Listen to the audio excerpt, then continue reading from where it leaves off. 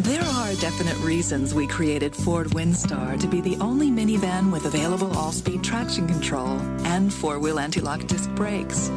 Reasons it has a wide stance for secure handling and also meets 1998 federal passenger car safety standards.